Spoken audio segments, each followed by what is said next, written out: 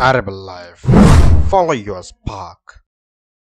Hello दोस्तों, मैं हूँ वैभव और आपका इस वीडियो में सच्चे दिल से स्वागत करता हूँ दोस्तों, अगर आप स्टॉक मार्केट में ट्रेडिंग करते हो, चाहे इंट्राडे या फिर डिलीवरी आप अगर ट्रेडिंग करते हो और आप किसी कंपनी को सेलेक्ट करते हो बाय या सेल करने के लिए ट्रेडिंग मतलब कुछ भी हो सकता है बाय या फिर सेल दोनों में से किसी भी एक्शन को ट्रेडिंग कहा जाता है तो जब भी आप डिसाइड करते हो कि कंपनी में ट्रेड करना है, और आप अज्यूम करते हो कि ये शेयर ऊपर की तरफ़ जाएगा या फिर नीचे की तरफ़ जाएगा, और आप उसी डायरेक्शन वाली जो ऑर्डर रहेगी, वो आप बाय करने के लिए या फिर सेल करने के लिए आप आगे बढ़ते हो। तो आप ऑर्डर डालने से पहले वो एकदम से, झट से उसमें मूवमेंट दिखने लगती है, और आपके डायरेक्शन में वो मूव होता है। मतलब आपने अगर उस प्राइस को ऊपर की तरफ़ जाने के लिए अगर प्रेडिट किया हुआ है तो अचानक से ऊपर जाएगा। एकदम से मतलब आप ऑर्डर डालते भी नहीं, सिर्फ़ आप मन में सोचते हो कि अरे यार, अभी ये ऊपर जाने वाला है और आपको ऑर्डर डालनी पड़ेगी, डालनी चाहिए। और जैसे ही आप जाते हो मोबाइल लेते हो या फिर ऑर्डर डालने के लिए बाय करते हो प्राइस डालते हो और ऑर्डर डालने से पहले से, पहले वो एकदम से फास्टली ऊपर जाने लगता है या फिर इसके उल्टा डाउन नीचे की तरफ़ सेल करते समय। ये ऐसा हुआ है ना, काफ़ी बार अगर नहीं हुआ है, अगर आप बिगिनर हो तो आगे होगा, ज़रूर होगा। मतलब ये काफ़ी बार सब लोगों को ये एक्सपीरियंस करने के लिए मिलता है।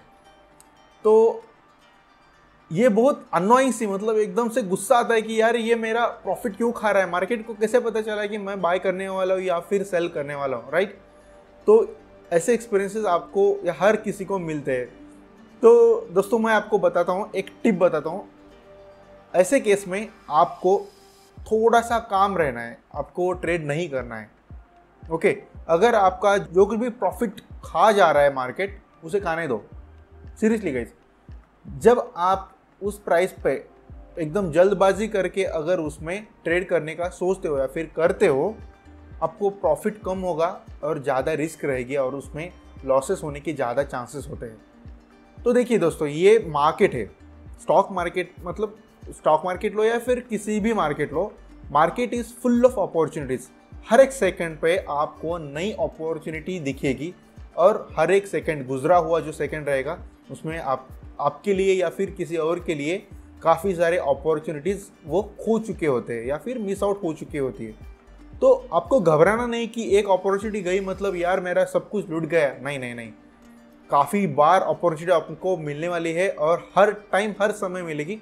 सिर्फ़ आपको ढूंढना है। आपको सिर्फ़ ढूंढना है और वो तभी मिलेगी जब आपकी माइंड एकदम से शांत रहेगी। क्योंकि यही इम्पोर्टेंट रोल है आपके पेशेंस का। माइंड ही है जो आपको इम्पेशेंट बनाता है और पेशेंट बनाता है। ओके पेशेंस से काम लेना चाहिए।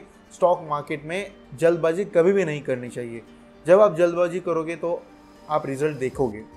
प्रॉफिट नहीं होगा। क्योंकि अच्छे डिसीजंस जल्दबाजी में लिए नहीं जाते। हाँ ये बात उन अलग है, उनके लिए जो लोग फास्ट थिंकर है। यस गाइस अगर आप इंटरनेट ट्रेडर्स हो और आपको सिर्फ़ और सिर्फ़ फास्ट ट्रेडिंग करने के लिए मतलब फास्ट डिसीज़न लेने में आपके लिए वो सूटेबल है। आपकी पर्सनैलिटी वैसी है, समझो फास्ट फास्ट डिसीज़न लेने के लिए। डीप थिंकर नहीं हो। तो आपको इंटरनेट ट्रेडिंग एक बेस्ट है और उसमें भी सेल साइड अच्छी है।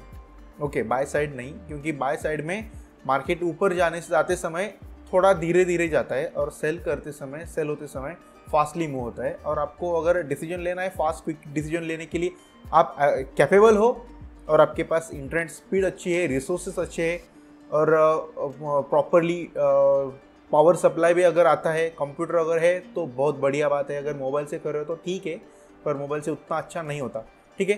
पर अगर आपके पास फास्ट डिसीज़न मेकिंग की एबिलिटी है तो आप इंट्राडे में आप आराम से जा सकते हो, कोई प्रॉब्लम नहीं। पर अगर आप डीप थिंकर की तरह अगर आप सोचते हो तो आपको इंटरडे से अच्छा डिलीवरी या फिर शॉर्ट टर्म सोचना है। पर मार्केट में हमेशा हर एक के लिए अपॉर्चुनिटी रहती है। ये बात आपके हमेशा दिमाग में रखो। ऐसा नहीं है कि अगर दोस्त को मतलब किसी और को अगर अपॉर्चुनिटी मिली तो आपको नहीं मिलेगी। ऐसा नहीं है बिल्कुल। हर एक अपॉर्चुनिटी मिलती है। पर सिर्फ़ आपका ढूँढने का नज़रिया ऐसा होना चाहिए।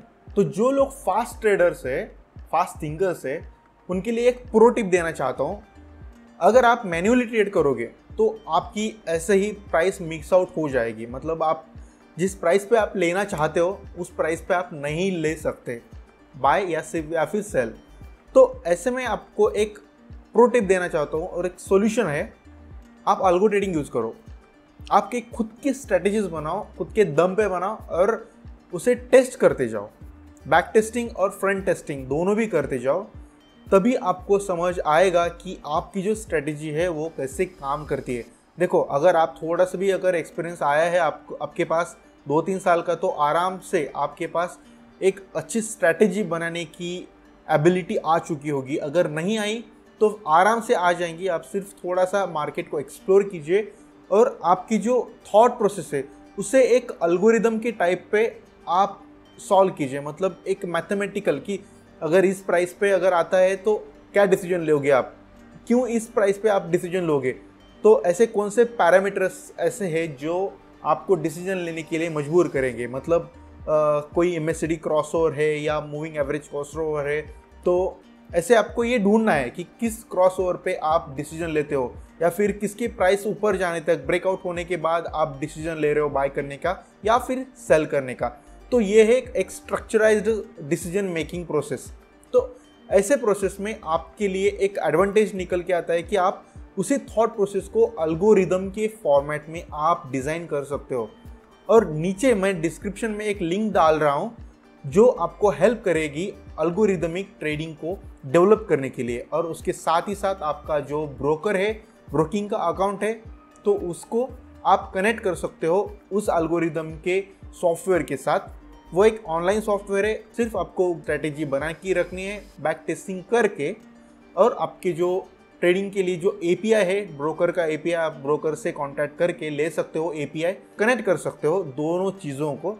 जैसे ही आप कनेक्ट करते हो और आपके ट्रेडिंग अकाउंट में पैसे रखते हो, आप वहाँ entry point exit point stop loss point ये सारी चीज़ें आप लगा सकते हो और आपकी जैसी, जैसे चाहिए, वैसे आप स्ट्रेटजीज डेवलप करके वहाँ आप वहाँ ट्रेडिंग कर सकते हो। मतलब आपका जो समय है, वो समय काफ़ी समय बच जाता है। आपको खुद को ट्रेडिंग करने की बिल्कुल भी ज़रूरत नहीं होती। मैनुअली ट्रेडिंग में काफ़ी सारी गलतियाँ होते हैं और जो कि अल्गोरिदमिक ट्रेडिंग में आप अवॉइड कर सकते हो। अगर आपकी स्ट्रैटेजी अच्छी है तो आप आराम से कमा सकते हो। अगर आपके स्ट्रैटेजी में कुछ प्रॉब्लम है तो आप उसे रिपेयर करके फिर से स्ट्रैटेजी को दोहरा सकते हो। और स्टार्टिंग में मैं आपको रिकमेंड करता हूँ कि स्टार्टिंग में आपको कम अमाउंट से ट्रेड करना स्टार्ट करना है। ताकि आपको धीरे धीरे करके बढ़ाने में आपको एक स्कोप मिले। नहीं तो क्या होगा, आप अगर ज़्यादा से ज़्यादा अगर अमाउंट पैसों की लालच के लिए अगर आप इन्वेस्ट कर रहे हो और ट्रेडिंग कर रहे हो और अगर कुछ प्रॉब्लम हो जाता है तो आपकी सारी मतलब अमाउंट की काफ़ी सारे परसेंटेज उसमें ख़त्म हो जाएँगे। मतलब अगर कुछ अगर बड़ा लॉस होता है ट्वेंटी परसेंट का वगैरह तो अगर आपने एक लाख रुपए डाले तो ट्वेंटी थाउज़ेंड उसी एक ट्रेड में ख़त्म हो जाएँगे। तो आपको थोड़े थोड़े करके आपको बढ़ाने हैं। जैसे जैसे प्रॉफिट निकल के आ रहा है, उसके हिसाब से आपको डिसीज़न लेना है कि कितने बढ़ाने हैं।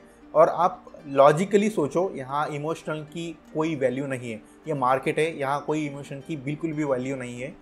आप, आपके पर्सनल लाइफ में कितना भी अगर इमोशन फुल हो, चलेगा, बिल्कुल चलेगा, पर यहाँ नहीं चलेगा। यहाँ आपको ग्रीड और फियर दोनों की चीज़ों से आपको खेलने हैं ओके तो ये सारी चीज़ें आपको ध्यान में रखनी है और उसी तरह आपको डिसीज़न लेने हैं इन्वेस्टमेंट के। तो चलिए गाइज़ इस वीडियो में इतना ही। मिलते हैं नेक्स्ट वीडियो में। Until then take care and bye bye